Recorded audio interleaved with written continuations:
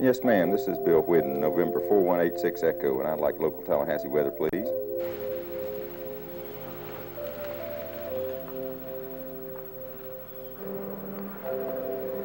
Flight service gave us 110, and it's amazingly right on 110 this morning.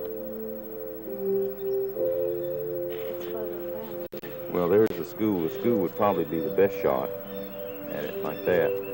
Whether we could get into Falls Chase or not, I don't know. If we have a wind change while we're up in the air, we, we might have to do some meandering around. But even if it does turn us, see, the, the pressure system is going to move us a little bit with a right-hand turn, which will put us towards the vineyards, which will give us a good landing spot anyway.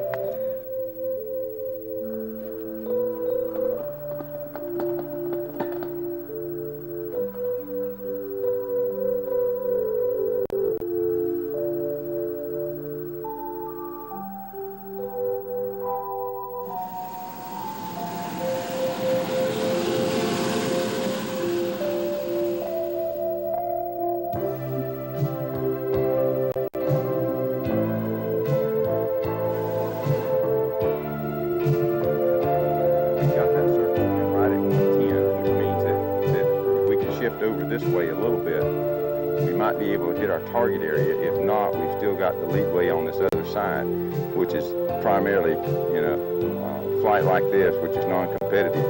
What I'm basically after is just a safe landing, whether I miss the target or not. I'd go ahead and get back on Buck Lake and just try and pick us up over there. I don't want to use this battery down any more than I have to.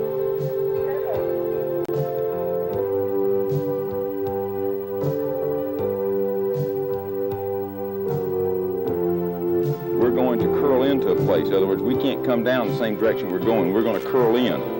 So basically what we have to do is to remember that as we start coming down and hold our altitude right about here. We might even go on up and see if we can find some other winds up there.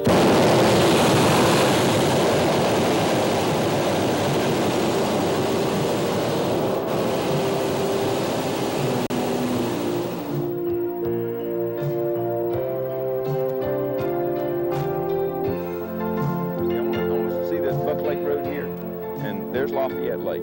I want to sandwich in between the two of them. I just want to keep narrowing my, my target down this way.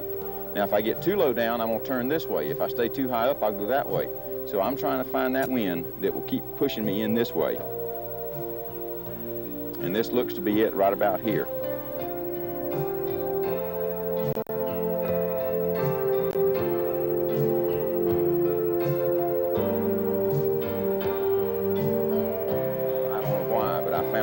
They will run off more. Hereford cattle, uh, I've got a herd of Hereford cattle, and they stand there and look at me.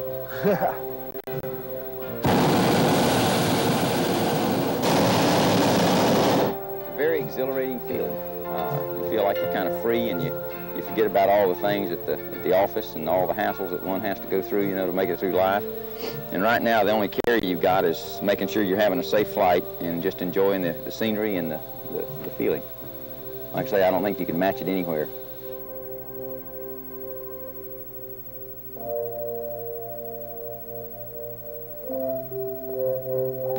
Now you see what I've done is I've compensated here. I'm going to go up like this, probably cross over Buck Lake Road so that when I come down, I will move over that house. Now, if I were in competition flight, hopefully there would be another balloon or two up there that I could watch just like you do in a golf game. In other words, you'd watch the, the putting, the putter in front of you and watch what happens. That's right, go to school on him.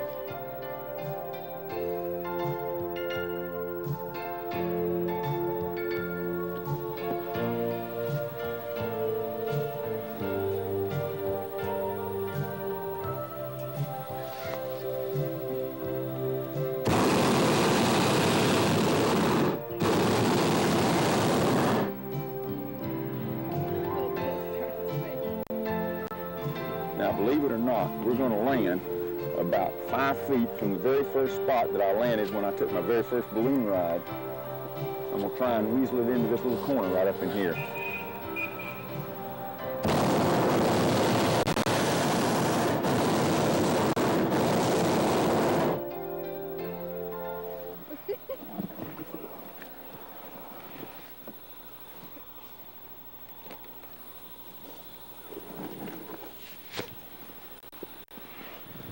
Lovely, Bill.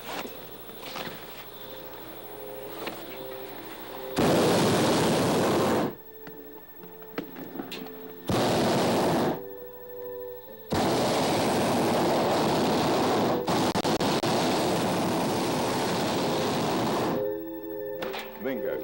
That's it. Put some weight on, gang.